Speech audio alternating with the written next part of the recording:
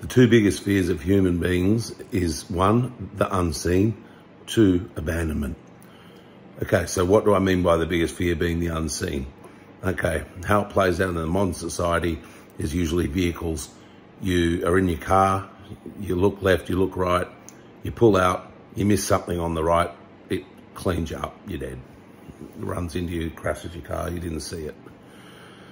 Uh, or you step out off the sidewalk, you didn't look, you didn't see a car, you didn't hear it, you get hit, you die.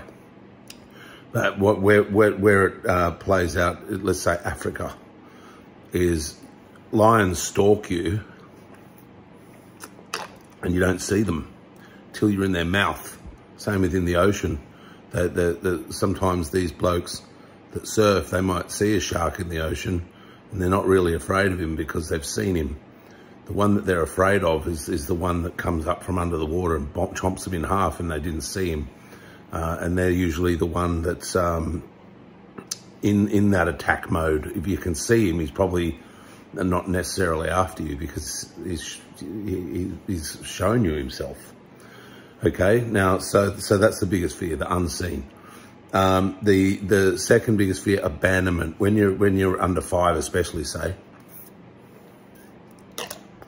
um, you, you, um, you, uh, if you were dropped off in the forest, you, you know that you would die from either the elements, get eaten by an animal or starve to death, uh, most likely. Um, so you're afraid, you know, um, that that might happen on some level.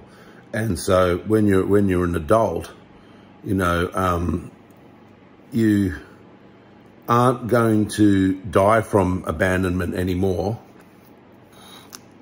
You know, if somebody leaves you, um, that you, that you're relying on for your survival a lot and things, you aren't going to die because you know you can. Everybody can work. Everyone can get money. Um, you know, shit, you could go steal some food if you wanted to. So you you you you're really not going to die from abandonment as an adult, but you still have that irrational fear left over from your childhood if you don't deal with it. You know that that that fear will attack you if you don't. Uh, sit and think about it and go, hang on, what am I afraid of? Oh, yeah, I'm not going to starve or die from the elements tonight. Um, I know what to do. I'm an adult, you know. I know how to take care of this. Um, yeah.